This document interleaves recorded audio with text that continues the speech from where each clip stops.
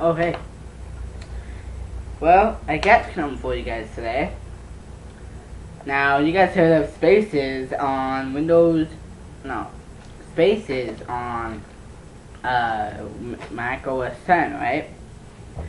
Well, I got something for you guys that's just like that. Alright, let's get into uh, desktop mode. And let's go to space number 4. Alright, this is what it looks like on Mac OS 10 right here.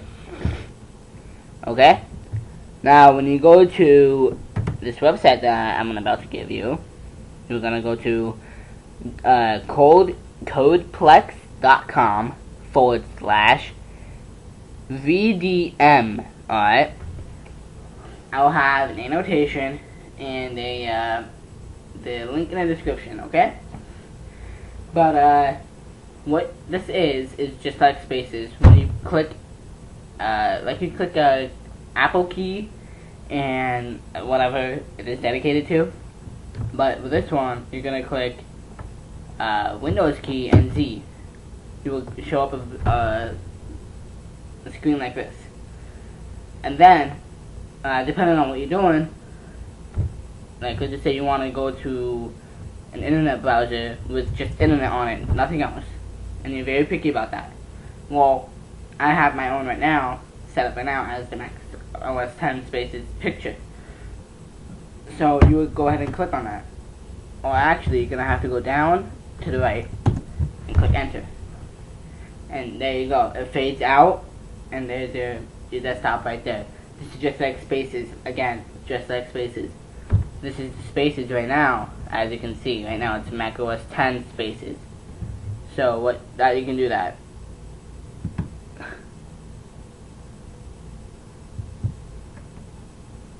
Okay.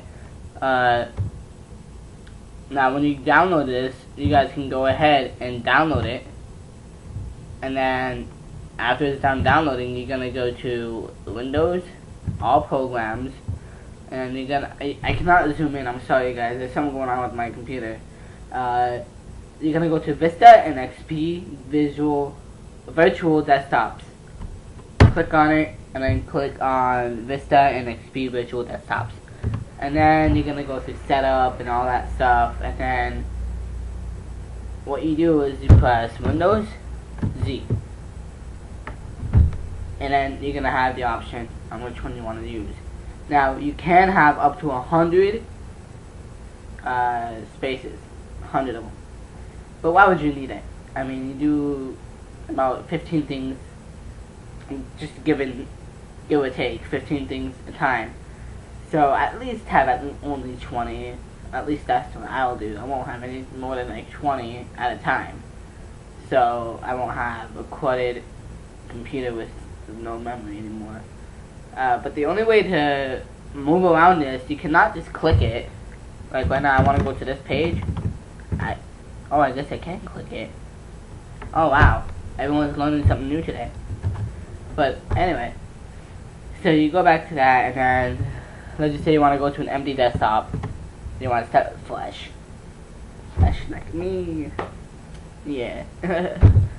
Double click on that.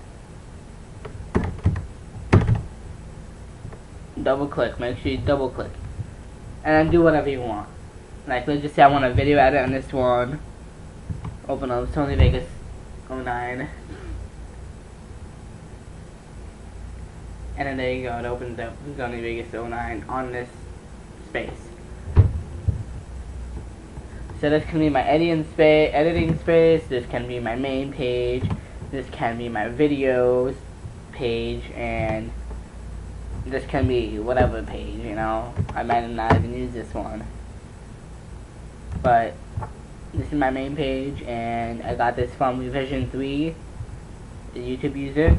So if you guys can go ahead and subscribe to them, they'll teach you how to do it. I'll put their their video link in the description also.